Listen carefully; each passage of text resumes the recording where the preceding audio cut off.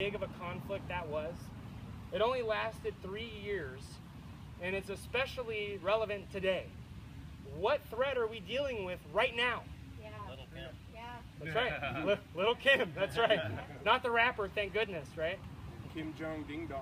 Kim Jong Ding Dong. So he is seriously causing complete, I mean, just utter danger over there for the Chinese, for the Japanese, for the Filipinos, for the complete group of, you know, islands that surround that area, all of Asia, for the United States bases and servicemen that are there, all of our allies. Kim Jong Un is making a huge problem again in Korea. And thank goodness we have a president who is willing to stand up and honor these guys who actually fought to a standstill. Because what happened in Korea, if y'all didn't know, when we jumped in, especially for the young folks here, right? I'm 29, and I'll, I'll be the first to admit I had to look up some information on the Korean War. Because I love, and I've studied the World War II. The Korean War is not as well known, right? We had literally in the first couple years, we made it all the way up. We captured their capital. We were working our way up to the northernmost border of North Korea. We had we were winning. It was almost over. And then Russia and China coordinated hundreds of thousands of Chinese troops pouring over the border, and that's what pushed us back down to where the North Korean and South Korean DMZ is now.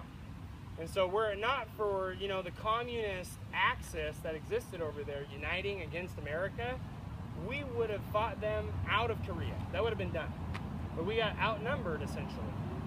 And so if you look at uh, his approach, Trump's approach to Korea, I think it's correct. There's some people who are in the media going, oh, he sounds just like Kim Jong un. That's the most insulting thing you could call a U.S. president. This guy is talking seriously to a completely insane person in North Korea where Trump, he sees what he deals with and he says plainly, very plain English and very, you know, straightforward, hellfire, fury, you make one misstep, we're coming to get you. You know, and to me, hats off to Trump. You know, hats off to Darn Trump. right. That's how you deal with bullies. That's right. Reagan was a great example.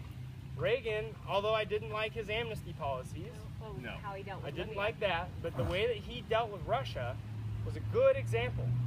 How dare the media in this country turn on our president and talk about how he's just like some dictator?